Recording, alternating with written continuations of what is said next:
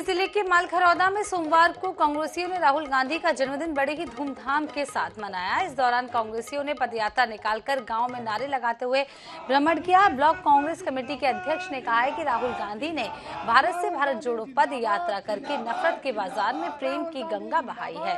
आज उनके जन्मदिन के अवसर पर पदयात्रा निकाली गई है और केक काटकर जन्मदिन भी मनाया गया राहुल गांधी जिंदाबाद जिंदाबाद जिंदाबाद भूपेश काका जिंदाबाद जिंदाबाद जिंदाबाद। राहुल गांधी जिंदाबाद। जिंदाबाद जिंदाबाद। राहुल गांधी जिंदाबाद। जिंदाबाद जिंदाबाद। हमारे पूर्व राष्ट्रीय अध्यक्ष भारतीय राष्ट्रीय कांग्रेस के माननीय राहुल गांधी की जन्म दिवस है।